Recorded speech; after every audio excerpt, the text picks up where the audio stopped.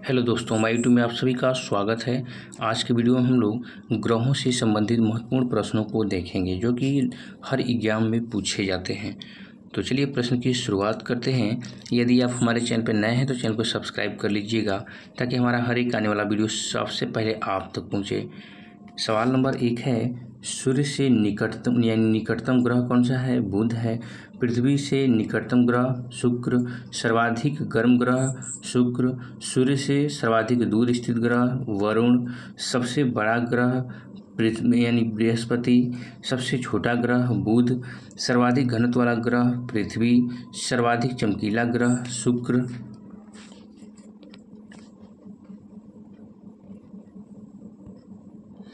चलिए नेक्स्ट है, सर्वाधिक, यानी लाल, सर्वाधिक चमकीला ग्रह हो गया, शुक्र, लाल ग्रह, मंगल, भोर का तारा किसे कहा जाता है? शुक्र यानी शुक्र ग्रह को शाम का तारा किसे कहा जाता है? शुक्र को ही कहा जाता है।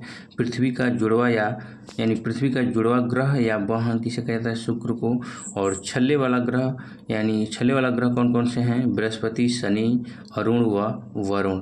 नेक्स्ट है, सबसे लंबे वर्ष वाला ग्रह, वरुण। सबसे छोटे वर्ष वाला ग्रह, जो है कि बुध, और नेक्स्ट है यहाँ पे सर्वाधिक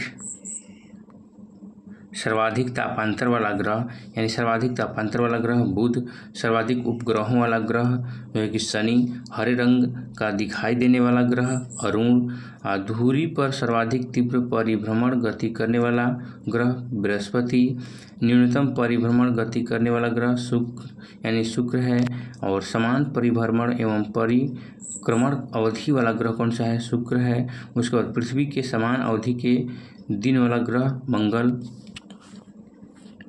अगला है पृथ्वी के समान परिभ्रमण अवधि वाला ग्रह मंगल। पृथ्वी यानी पूर्व से पश्चिम की ओर परिभ्रमण जो है कि परिभ्रमण वाला ग्रह कौन सा है? शुक्र व अरुण उत्तर से दक्षिण, यानी उत्तर से दक्षिण की ओर परिभ्रमण वाला ग्रह अरुण, पृथ्वी, यानी सर्वाधिक तीव्र गति से परिक्रमा करने वाला ग्रह बुध, न्यूनतम गति से परिक्रमा करने वाला ग्रह अरुण और वे ग्रह जिस पर सूर्योदय पश्चिम दिशा में होता है, वह शुक्र व वरुण होता है, अरुण होता है। ठीक है दोस्तों तो ये थे प्रश्न। जो है कि ग्रहों से संबंधित, ठीक है? इसको अच्छे से देख लीजिएगा। वीडियो पसंद आया तो लाइक कर दीजिएगा। मिलते हैं नेक्स्ट वीडियो में।